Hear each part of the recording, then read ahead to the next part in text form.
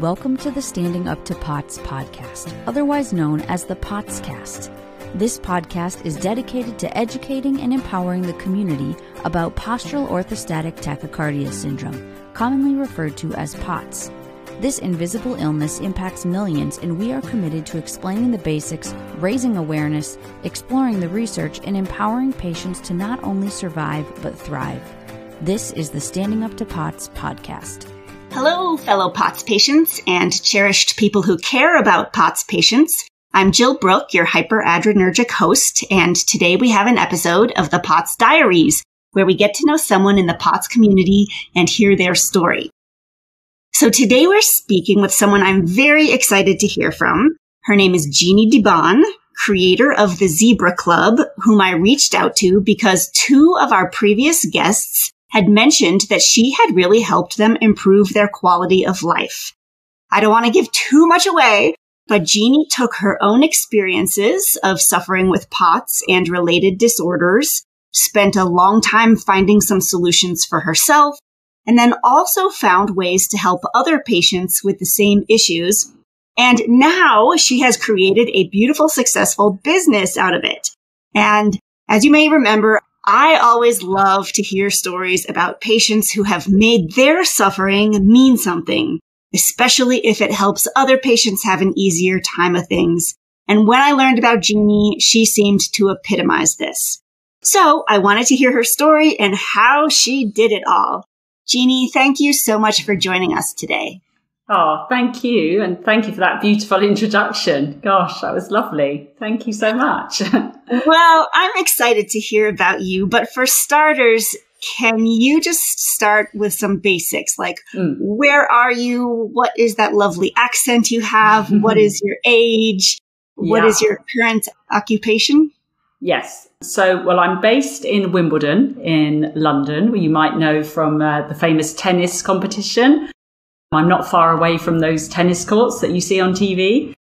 But I grew up in Windsor. So again, you might know from Windsor Castle and the royal family. So this accent, I guess, is a Berkshire, a Windsor accent, now coming South London way. So I'm 52 this year, so 51 at the moment. Gosh, well, I've lived in Wimbledon for about 12 years now. So lovely. And so, what are a few words or phrases that your friends or family would use to describe your personality? Uh, yeah, I was thinking about this. These questions are so hard, aren't they? Because you're like, oh, I hate talking about myself. but, um, you know, I think they would say I'm definitely an empathetic person. So, as you hinted at in the introduction, um, I do work with people now who have POTS, who have other conditions like EDS and mast cell activation. So, I am a very empathetic person. And, you know, I'm, I'm very determined. If someone comes to see me and they need help, I will pull out all the stops I can to try and find a solution, which isn't always easy, of course, with our community because so many of us have lots of different things going on. So I think those would be two words that would be used to describe me. Very committed to my clients, to my work, to my, you know, everything I do. And so I imagine that you spend a ton of time on your work. But do you have favorite ways to spend your time when you're not working? Yes. Well, some people who might know me know that I've got a little dog, a little Havanese dog. So I spend a lot of time with him. And he gives me a lot of joy. I love being outside in nature. So one thing I really learned is that to calm my own nervous system and to look after myself, I need to be in nature. I love to be outside. I love to be near the water, near the sea. So I try to get out as much as I can, obviously energy and things permitting. But I also like to just relax and watch really nice things on Netflix a lot of the time. So I do have downtime where I just sit and watch Netflix, which is great. great. So you're not going to like this because I'm going to force you to not be humble. But if I mm. made you brag about yourself, tell us about something you're really good at or your best trait or something, oh, something that would be a brag. Yeah, you're right. I don't like this question, but, um, you know, I think if I really had to say about myself, everything I do really comes from my heart. So every intention I have, every piece of work I put out there, it really comes from my heart and it really is thinking about how I can help other people. So you know, I'm very proud. I am proud of, of, of what I do and I'm proud to be able to help our community. So yeah, I, that's probably what I'd say about that if I had to, if I had to. I think you are open about the fact that you have POTS and hypermobility, EDS, and yes. MCAS, right? Yes. And yeah. have you always been affected by symptoms of these conditions, or did you have some years that were symptom free before these things kicked in? Yeah, this is a really good question. And um, it's really odd because I do see my life in kind of two halves but it doesn't mean that the first half was symptom free. It was just easier. So I've got two children. I should have said that. I've got two boys who are now 18 and 16. And I see my life sort of pre pregnancy and post pregnancy because pre pregnancy, I had symptoms, but like many people, I didn't have a diagnosis. So you just learn to live with what you've got and you just think that it's normal, that you have all these weird symptoms and things going on. But I wasn't really doing anything about it. I tried, you know, I saw lots of different people, but I just had to get on with my life. After my second pregnancy is when things started to go really, really badly wrong. And I got all the things, uh, chronic pain, lots of things, pneumonias, my heart valve prolapse got diagnosed, every chronic fatigue, everything kind of imploded. And so I see my life kind of pre and post pregnancy. But I've never really had a time in my life where I didn't have symptoms, unfortunately. So when these things started going wrong, what did you think was happening? Well, yeah, that's the thing. I just didn't know. I mean, there did get to a point where I thought there must be something really seriously wrong with me because there's always something wrong and it's always in a different part of my body. And there must be something really bad because I don't know. I'd been to so many doctors, so, and top people, you know, so consultants. And you know what it's like. You have scans, you have MRIs, you have tests, and they all come back, oh, you're fine. I didn't know, but I was worried about it. You know, I remember when I was very young, like probably six or seven, it's really interesting when I was thinking about your questions. I remember at that age, recalling that a doctor, a GP, a, a, you know, just a normal regular doctor had told my mum that I had to have lettuce leaves covered in salt. So I had to be eating salt regularly. And I remember my mum force feed. It was horrible, you know, just salt on a lettuce leaf. And it was horrible. But I remember having to eat this because I don't remember clearly back then, but I obviously was having some kind of problems at a very early age. And some doctor who was obviously quite switched on actually back then, because that was what 1977, was telling my mum to give me salt. So symptoms were starting as early as that. Did anybody ever make you think that it was just stress or all in your head? And if yeah. so, what effect did that have on you? Yeah, all the time, all the time. So, uh, yeah, so I got diagnosed with IBS when I was 12. And I remember, and this obviously stayed with me, you know, for until recently. Um, and I remember going to see various doctors. And of course, for that kind of thing, they do tell you, oh, well, you need to practice relaxation. You know, you need to calm down. You need to, you're clearly stressed. That's why you're having stomach issues.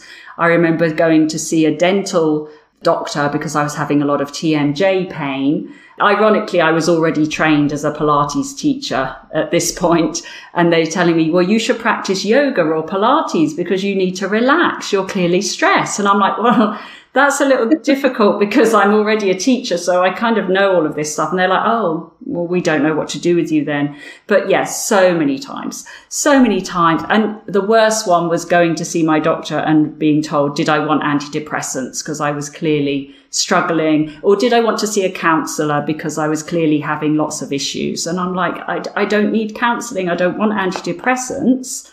I just want some answers. But as we all know, the doors get shut and nobody can really help you. So yes, lots of times, unfortunately, that has happened to me. And it makes you feel terrible. It makes you feel hopeless because what do you do? And then you start thinking, am I stressed? Am I depressed? I, you know, it's, it's, it's just not right that that happens to people. And I know it still happens to people.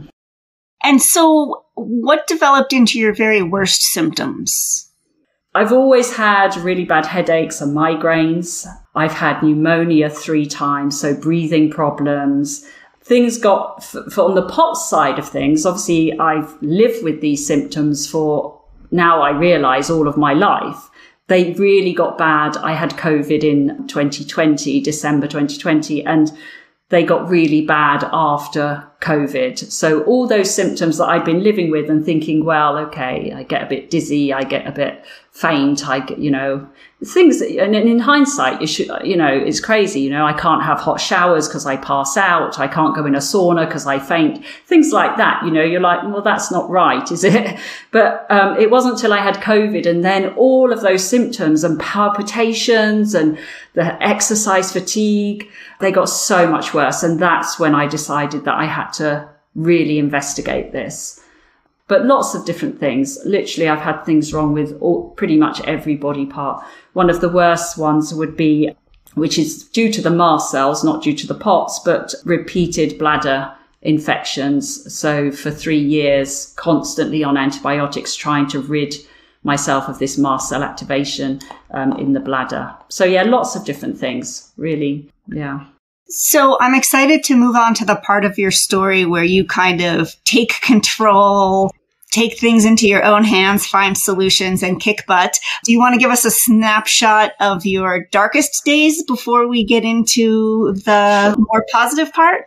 Yeah. Yeah. I mean, as I said earlier, these things have been with me pretty much my whole life. And um, things like like I said, about not being able to go in hot places, not being able to go in cold places, fainting, dizziness, blacking out, all of those sorts of things have pretty much always been going on in my life. But I think my darkest days, and like you say, the thing that sometimes you have to hit rock bottom, right, before you go, right, enough is enough. And it was after my second son was born. And I was so ill with the chronic fatigue and all the symptoms. Um, so I had a two year old son and I had a newborn.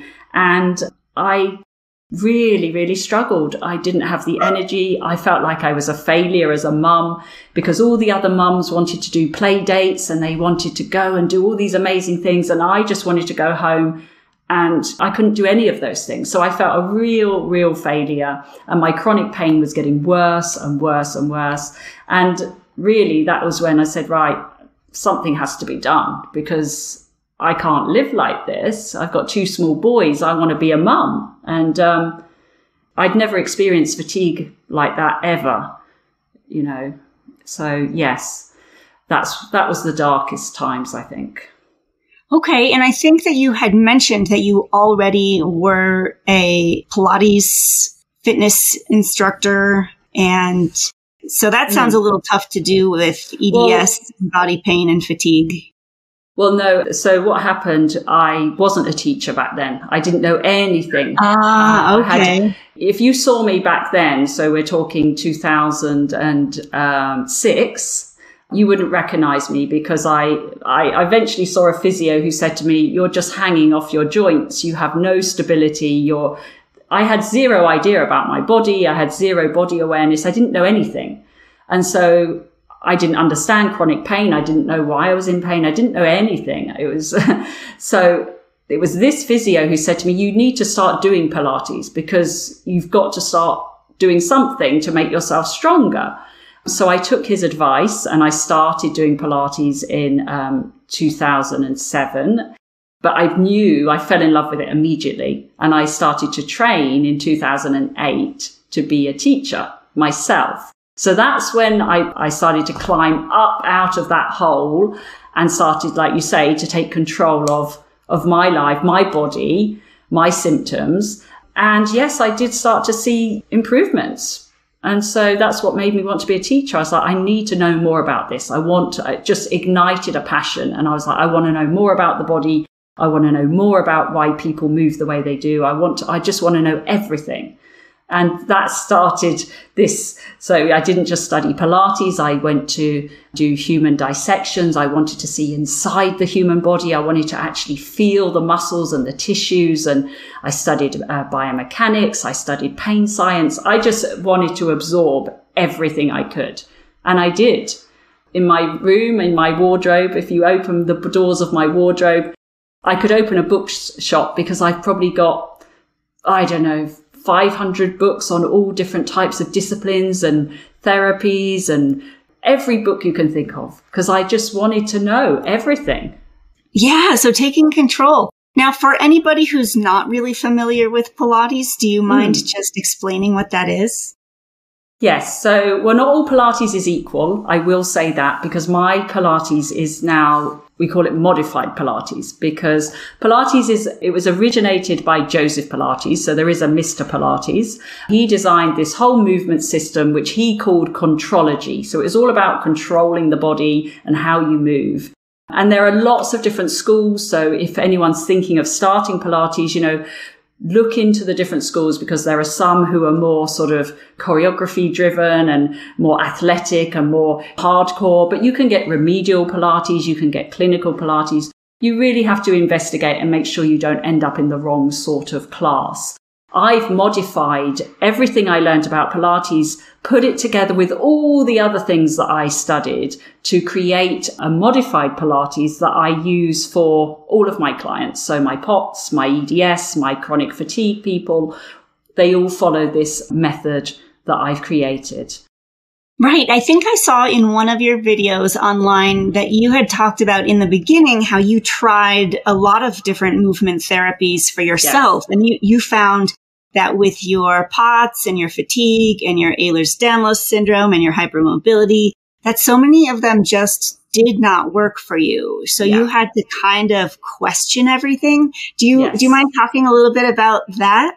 Yeah, yeah, that's absolutely right. So I was always drawn to yoga, actually, maybe because I'm like many my hypermobiles, we can do a lot of yoga things quite easily. But I was always in pain after the class. So I always had back pain, always had shoulder pain. And this was back in my first life when I had no awareness of my body. So I was just doing these poses and I didn't really understand them and I was pushing myself. So always in pain. So I knew, well, that's not quite right.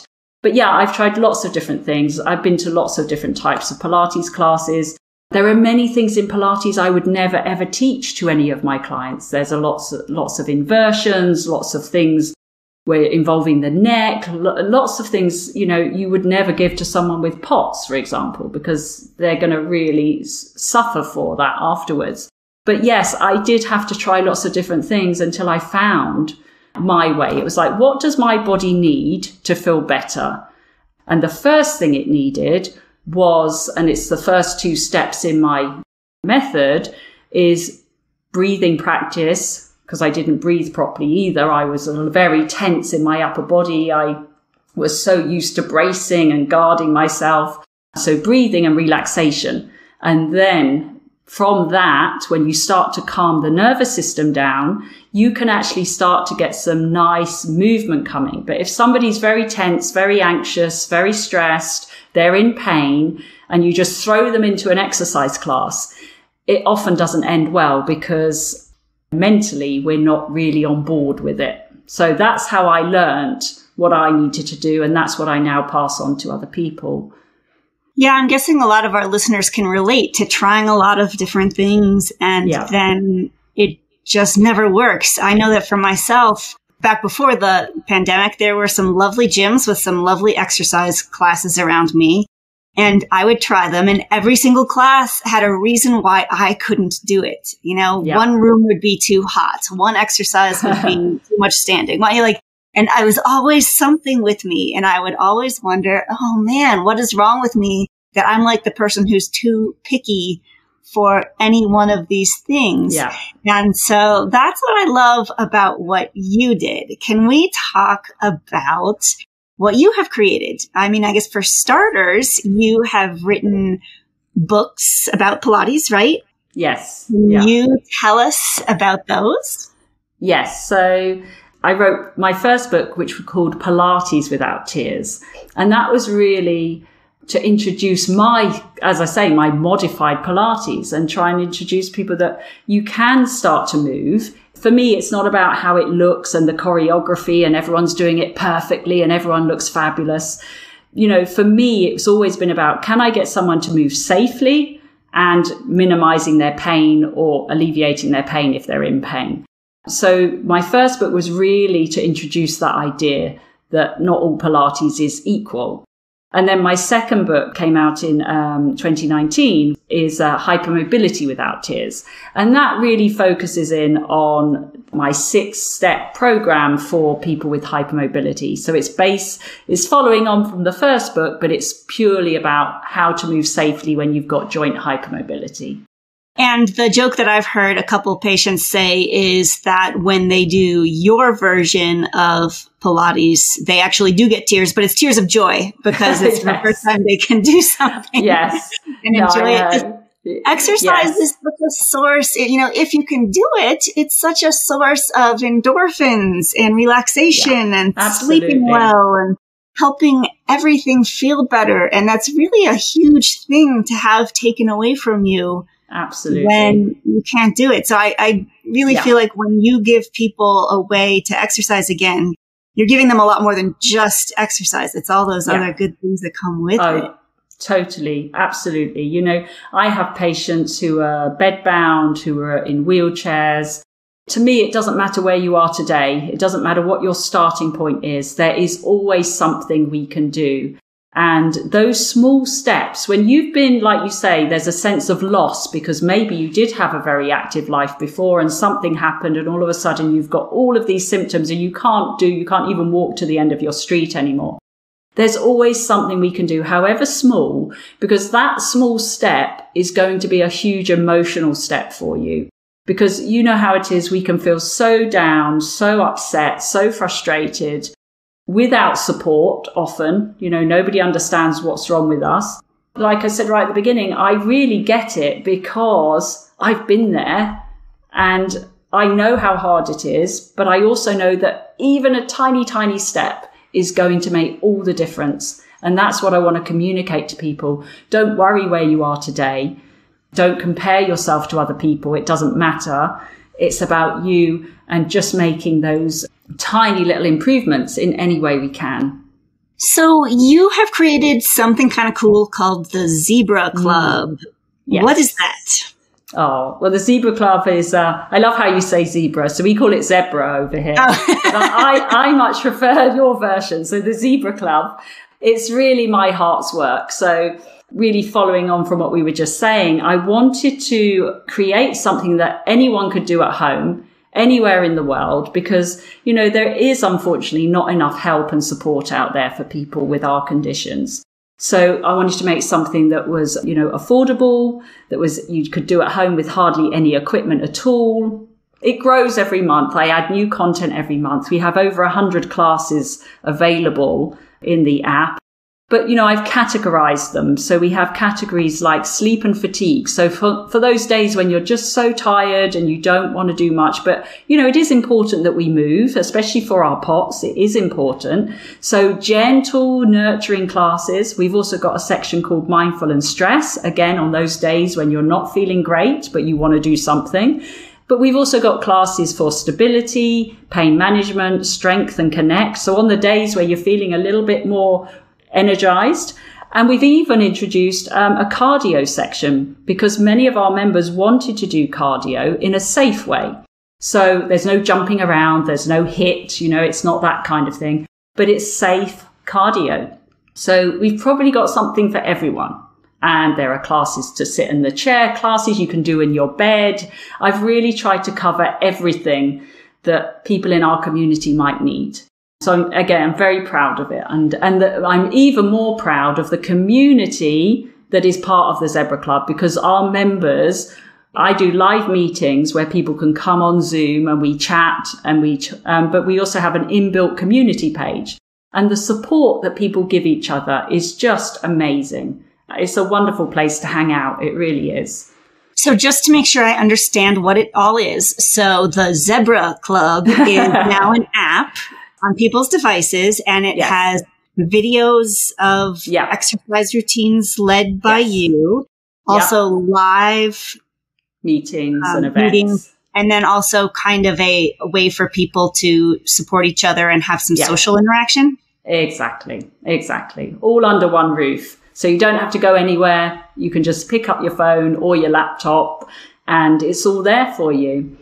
So that is so cool. That is so wonderful. And I know that it has been a huge hit and I know that your books and your apps have been featured on many media channels. And mm. I know that hmm. you've spoken to the Ehlers-Danlos Society and a bunch of other places. Can you just talk about kind of what it's like to feel like your baby that came from your own struggle is now sort of being embraced all around the world? Like, how cool is that? oh, well, yeah, I mean, it's amazing. Um, and as I said at the beginning, really everything I do comes from my heart. My husband says I'm like a machine because I never stop thinking of ways that I can help people. You know, I do one that's like, well, how can I do more? What can I do? You know, like the YouTube channel. You know, not everyone can afford a subscription to the Zebra Club. So I'll always be creating content for my YouTube channel. You know, I want to help people, you know, as much as I can. But yeah, sometimes I have to pinch myself and say, wow, I can't believe that people in Australia are contacting me and people in, you know, all over the world are contacting me. And it's, it's, um, yeah, I get very emotional about it because it means so much to me. You know, it, it's my life and it, it's, like you say, it's my struggle, but I've tried to turn that into something positive to help other people. It's amazing. And, but I'm wondering, sometimes I think that success can be so wonderful and soothing for the brain, but then it means that your body has to do more, right? So now you're yeah. in more demand and more people want you. Has that been tough? Like, how is your personal pain level and hmm. functionality mm. doing these days? Can you keep up with all of this demand for your work?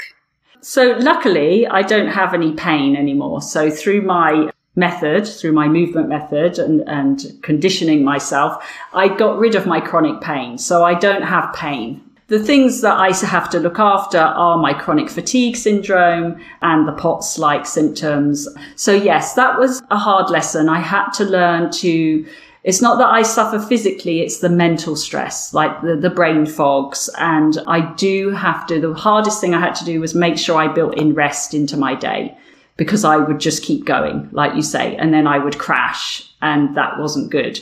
So one of the lovely things about having my little boy, my little dog, is I have to go out for walks at least once a day in the fresh air, in the sunshine. So that's part of my self care. So self care is so important. So it doesn't matter how busy I am. I try and stop work at 5 p.m. I make sure I try not to look at my phone. So I'm, I'm learning, I'm learning to be a little bit gentler on myself. So we have a couple questions that we always like to ask our guests because it might help other people. But yeah. besides what you've already talked about, is there anything you know now about living with POTS that you, you wish you had known sooner? Yes. Well, first, I wish I'd gone and had it investigated much sooner instead of waiting for long COVID to kind of push me into it. You know, I wish I'd known. I sort of knew I had POTS because I had all these symptoms and so many of my clients have it, but I really didn't know I had POTS. And I wish I'd known about salt. I mean, I know that sounds very simple, but I've recently been put on salt tablets and they have transformed my life. And I was like, oh, if only I'd known about this sooner, my life would have been so much easier. Honestly, I have uh, no more jelly legs. I always used to have jelly legs like they were going to give way underneath me. My headaches have gone down. I even have more energy. It's like, wow, I should have done that sooner. Along the same lines, are there any lessons that having POTS and related mm. conditions has taught you? Yes, I mean, kind of similar to what I was saying earlier. I have to pace myself. I have to learn to rest, um, which I'm doing. I have to, you know, take time out. And the thing I used to do before I was sort of officially diagnosed with POTS is that I don't know, it sounds really bad. And that, you know, you'd think that, oh, you're just weak. You know, the fact that you get dizzy when you stand up or you can't walk a long way without feet or your heart pounding, you're just, you know, you're weak. There's something wrong with you.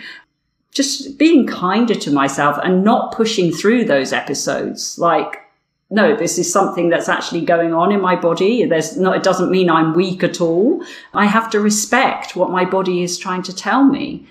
And again, I wish I'd got my diagnosis a long time ago. But there you go. right. Looking back, but what can you do? So besides your career success, has anything positive come from your having POTS and related conditions? Any mm-hmm. silver linings at all? Actually, yes, because A, it's led me to this wonderful, you know, I, I love my job. I love my career. It's led me down this path. And the amazing thing is that I've met so many wonderful people and our community is so wonderful.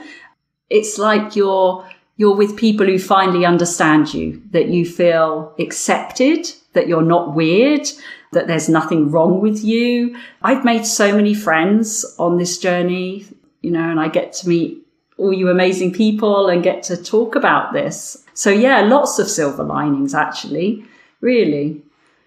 That's great. That's great. Are you up for what we like to call the POTS speed round, where you just say the first thing that comes to your mind? okay, I'll give it a go. and we know that your mind is not necessarily getting all the circulation it should. So that yes. just makes it that much more fun. Okay. Okay. What is your favorite way to get salt? Through the salt tablets and the electrolytes that I take now. What is the drink that you find the most hydrating? Again, the electrolyte drinks, I have those every day. Again, only discovered those recently. I wish I'd known about them years ago. What is your favorite time of the day and why? Probably mid morning. So early mornings, um, like many of us, or I'm a bit groggy and not great when I first get up in the morning. But by the afternoon, I tend to get a bit fatigued. So mid morning is super nice. I have my most energy at that time. How many doctors do you think you have seen for POTS, MCAS, EDS, the, the whole package? Oh, gosh, so many, so many to count lots of cardiologists, but only seeing Dr. Gall, who you might have heard of, who's, you know, here in London. He was the person who diagnosed me with POTS. But I've seen so many different doctors and nobody joined the dots for a long, long time. So I know you have worked with many POTS patients through your mm. app and virtually, but how many have you ever met in the flesh, face to face? Oh, honestly, I would say most of my patients face to face have some level of POTS. So lots and lots and lots. I met my very first POTS patient in 2013 and she taught me, we became friends. She was a client and she taught me so much about POTS just from working with her. Great. What is one word that describes what it's like living with chronic illness? Unpredictable. Hmm. What is some good advice anyone ever gave you about anything? So I was thinking about this in terms of, you know, living with chronic illness. And I think the best advice someone gave me was acceptance because, you know, I think you, most people go through a stage where they do try and fight this and they're angry and they're stressed by everything. And actually this thing's probably not ever going to go away. It's with us. It's part of who we are. And so learning to accept that really helped calm everything down. Oh, that's a good one. Um, it comes from a fellow POTSy person. You know, I hear that pretty often and it just makes me think, you know, so if you are a listener and you have POTS right now and you have worked with anyone and you have talked about your POTS, there's a chance that you really taught them something that they passed on to someone yeah. else and it changed how they did. And like, this is at yeah. such a point of beginning that each one of us can make a difference with the conversations we have and the people we educate. Who is someone you admire? Honestly, I admire anyone who has overcome some kind of adversity. And if that, you know, living with a chronic illness or anything that they've overcome in their life, because it takes courage, it takes determination. And I just think everyone who, who is living with these conditions is just amazing because we do have to face so much. And as we all know, our condition is invisible, you know, so people don't really, sometimes they don't believe us. You know, we look well a lot of the time. So it's really hard on a daily basis. So I admire every single person who gets up and deals with this every day. Great. What is something small that brings you comfort or joy? Well, apart from my little dog, who's wonderful, I love lying in my bedroom when the sunlight's coming in and just lying in there and resting and feeling the sun and looking outside and seeing the trees. And I like just lying there. it just makes me feel really good. What is something you're grateful for? Very grateful for my family and their support and their, you know, support of me through my health struggles, but also through my work. They're so supportive of everything I do. So really, I would say that. So I just have a couple more questions. Yeah. What do you wish more people knew about POTS and related conditions? Well, as I was just said, the fact that it's invisible, I wish people would understand that just because something is invisible, it doesn't mean that people aren't feeling really, really ill inside and they're just being, they're just not showing it because we have to function. If people could just understand that, that there's a lot going on underneath the surface that people are hiding and they don't want to talk about or they you know they can't talk about and um, yeah i think that's so important with these invisible illnesses is there anything at all you would want to say to your fellow POTS patients out there who may be listening? Well, I am very late to the party, to the POTS party, because as I say, I only got diagnosed officially last year. I'd like to say, you know, thank you because I'm learning every day more about this condition and, and your fabulous website and your podcasts or your casts that you do. So, you know, I'm learning all the time from all of you. So thank you because I'm on a journey as well, learning more about POTS every day.